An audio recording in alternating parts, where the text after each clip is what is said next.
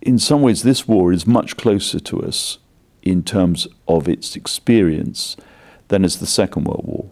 Um, that may seem paradoxical, but we have so cast the Second World War as the as the good war, as the war that is undeniably necessary, that its horrors are not remarked upon. I mean, the Second World War is actually more costly in human lives.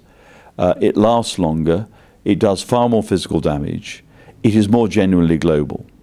Uh, we have much more cause to regret the impact of the Second World War than we do of the First World War, and we have much more cause to see the Second World War as inherently wasteful.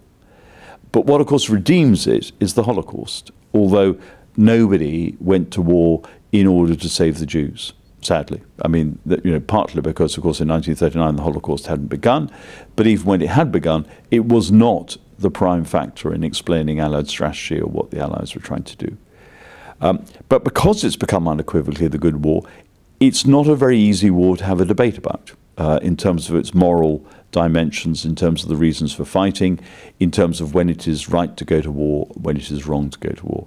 The Second World War, sorry, the First World War, the, the First World War does that for us wonderfully well. Because, you know, particularly for Britain, I mean, the cabinet thinks jolly hard about the wisdom of going to war. It's deeply divided at the beginning of the crisis. Eventually, it, broadly speaking, unites. And by the time it's united, the country as a whole is also convinced that this is a necessary war.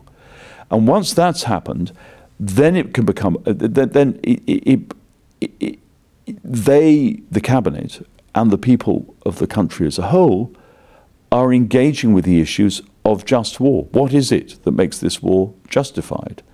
It is a war justified in their eyes because uh, it's about the rights of small nations, it's about international law, um, it's about the, the, the, the obligations that states have towards each other as well as being an argument about strategic necessity. You know, that Britain cannot afford to have an overmighty Germany uh, in the Low Countries immediately adjacent to its main imperial and maritime communications. So there absolutely is a self-interested argument, but crucially, there is a moral argument that interplays with, with, with the strategic argument, um, and the two converge rather than diverge.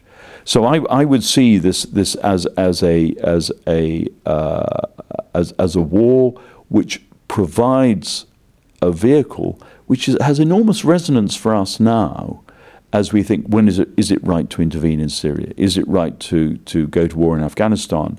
Um, wars which we sort of unfairly characterize as wars of choice because I don't actually think any war can be a war of choice. I mean, you choose not to go to war rather than to go to war, or alternatively, all wars are wars of choice. You know, it's not some are wars of necessity and some wars of choice. There has to be an element of necessity in any war in order to explain it.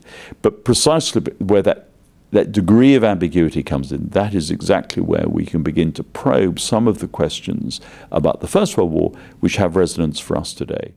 We tend to privilege our own experience as unique. Um, and actually, uh, in, so, uh, in some respects, it's not unique. Others have been through some of these dilemmas before. Some of these things sound very modern.